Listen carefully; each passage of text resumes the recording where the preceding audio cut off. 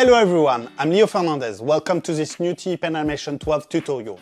TVPaint Animation has evolved a lot since its last version, and I think it is a good idea to come back to the basics, so you can find your way around the software. First of all, for this tutorial we will use TVPaint Animation 12 Professional Edition in order to see all the software's features. If you don't have TVPaint yet, you can download our trial version via the link in the description. Okay, here we go.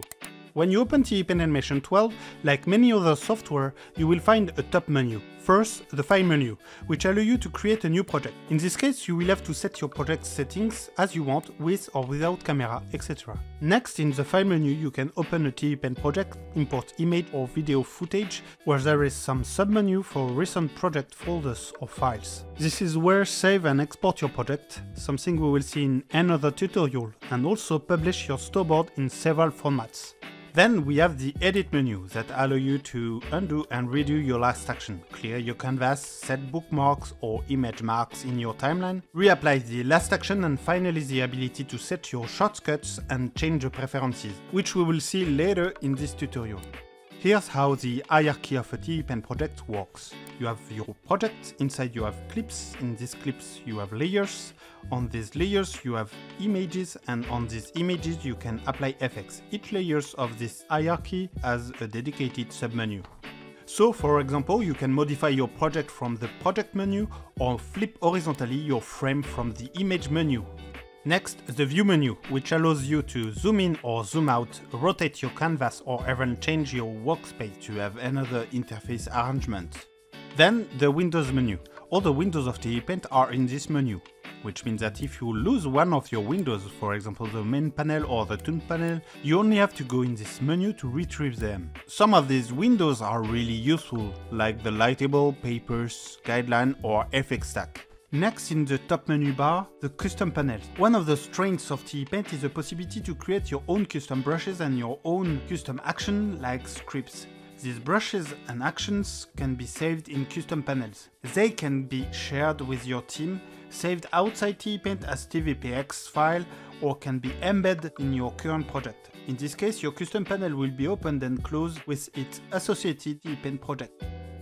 Finally, the help menu with all the links to help you to learn how to use TVPaint. Here you have the tooltips that display pop-ups with the description of the button you are hovering over. I will disable the tooltips to make things more convenient. Here you find a link to the documentation, our tech support forum, and our tutorials from our YouTube channel or from our partners. You can also check here if there are updates. It will open your user account where you will be able to download the last version of the TVPaint Animation. The most used features are just under the top menu bar. New project, open or import a project, save a project, undo and redo.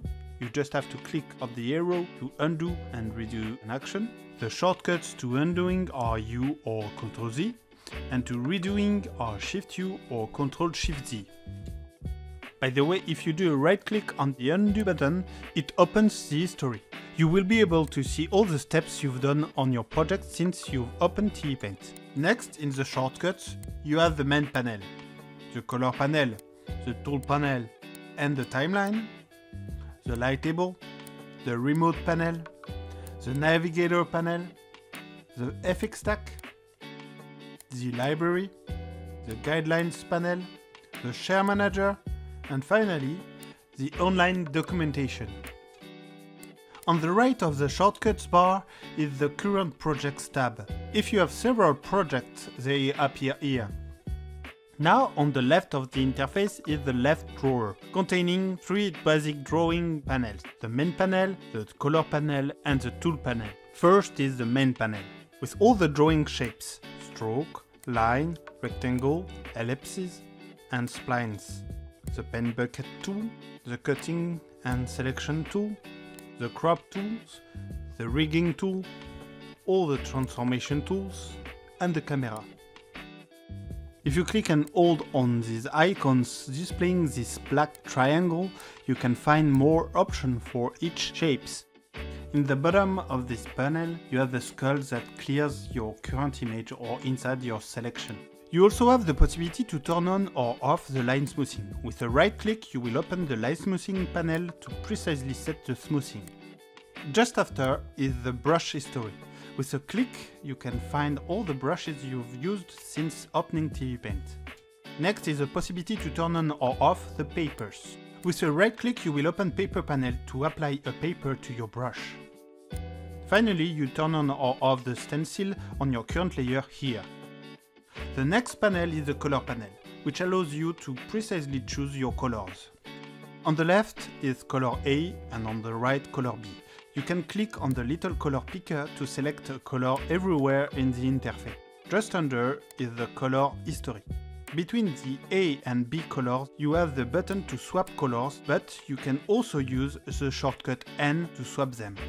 You can choose your color with different color selection modes. In this menu, 7 modes are available. A and B colors, slider, picker, mixer, palette, chromatic wheel, and color variation. By default, the chromatic wheel will be used, which is the best one in my opinion. Last but not least, you can find the tool panel, which allows you to select a brush to use and to change its settings. So here are the pen brush, the pencil brush, the eraser, the mechanical pencil, the oil brush, the airbrush, the wet brush, the special brushes to modify your drawing, the text brush, and then the custom brush. You can find some custom brushes like real pencil, acrylic or charcoal in the right drawer. By the way, the main panel and the tool panel are connected, which means that if I choose a shape, I will have access to drawing tools. If I choose the selection or the pen bucket, I will have access to settings dedicated to those. We will see how to create and use the brushes in Paint Animation 12 in another tutorial. In the middle is the canvas, your drawing zone. Keep in mind you can't paint or draw outside the drawing zone. By the way, come here, I have a little tip for you. With Alt, you can move your canvas. With Alt right click, you can zoom in and zoom out. With Alt Control, you can rotate your canvas. Here is the timeline. It's used to manage a few things, like your layer images by rearranging them, extending them, add keys for the camera layer and your effects, etc. It's composed of two parts. On the left, the layer stack. On the right, the timeline, where you add frames and do the timing of your animation. Each layers can have their own duration, their own place and their own content without affecting the other layers. When you create a new project, two layers are automatically created, one animation layer and one camera layer on top. They have both one frame in the timeline as you can see. The default layer has these options. Here is the name of your layer. With a double click you can change it directly. Next to it, you can collapse your layer thanks to the little minus icon here. The layers option are in the middle section. On the left, the lock position option. When turned on, you will not be able to move your frames in the timeline like that. The auto break instance option lies at the center. If turned on, it allows you to break your instance with multiple exposure in two separate instances where you draw on the canvas, like that. On the right, the Auto Create Instance option. Related to the Auto Break, it will allow you to create a new instance after the last frame of your animation if turned on. Under those options, you find the blending modes of your layer. By default, the blending mode is set on color.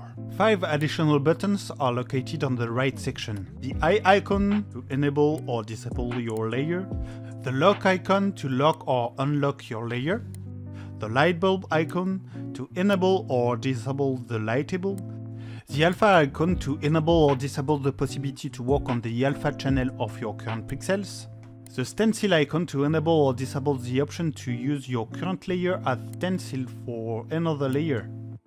Finally, the layer opacity scroll bar below those buttons. On the left part of your layer is a tag or label icon, which allows you to apply a color group label to your layer and then organize your layer stack as best as possible. On the top part of the layer stack there are some shortcuts icon allowing you to perform some action quickly. Merge layers, select layers, create a new layer, create a new folder, create a new CTG layer and delete a layer. The menu button allows you to have more layer creation options. There are three types of layers, animation layer, CTG layer for colorization, and puppet layer for rigging bitmap animation. On the right part of this top section, you will find the same icons as the ones present on each layer to use global settings on your layer stack. For example, if I click on the eye, I will be able to use the option View Current Layer Only. It's really useful if you work on multiple layers and you want to concentrate on your current layer. You can also use the shortcut equals to enable or disable this functionality. I advise you to use the display settings panel in Windows menu Show. This window allows you to set your display smarter. In this case, layer attenuation allows you to manage the opacity level of all the other layers when you use the View Current Layer Only option. On the bottom left of the timeline are some very useful buttons. First of all, the timeline notes. They allow you to write notes linked to time so you can do your lip sync easily thanks to this feature. Next is the timeline sound where you can import and manage soundtracks in TVPaint linked to the timeline. And then the color group, letting you manage the color groups of your layers to organize your layer stack as best as possible. Just below that, you can choose the background color of your canvas thanks to this button. You have the possibility to choose between none, color and check. These colors are just here to help you to see during your work because the background is just alpha transparency. So when you export it, you will be able to choose if you want to export it or not. Next to it, you will be able to choose the start frame number between 0, 1 or the number you want. By default, it's set to 0. In the Edit menu, you can find the Preferences panel, shortcut Shift-D.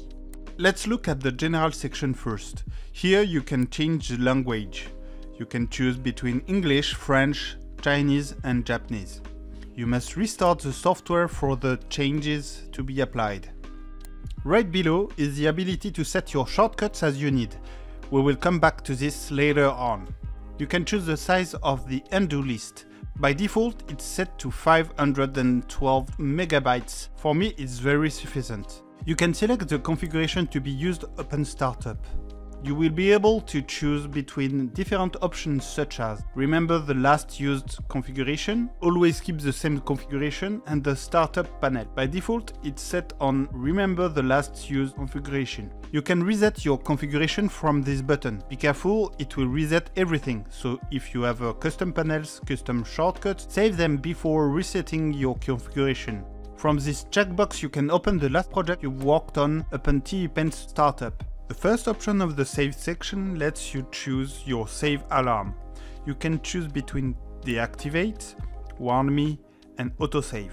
The last two are not save intrusive, which means it will not activate the save before you release your stylus from your tablet for more than 5 seconds. If you draw 10 minutes straight, it will save only when you are not drawing anymore. You can adjust the frequency of the pop-up warning and saving. With a multi-backup option, add save backup saves in addition of your current save, in the same folder or in another place on your computer. In the drawing section, you can choose the driver used for your tablet on Windows. The WinTab option, when enabled, allows you to use Wacom drivers installed on your computer. If you are using another kind of tablets based on the Windows Ink drivers, disable the WinTab option and choose the Ink one instead. On Windows, you can enable the subpixel option for your future drawings, allowing you to use drawing tools with a precision greater than 1 pixel. On macOS, you can use Boostline Smoothness option, enhancing the smoothness of your drawing experience. Next, we have the timeline general section. You can choose if you want to have a, large timeline or not, which means that the timeline will be located above the drawers, like that. For more convenience, we will jump to the default config.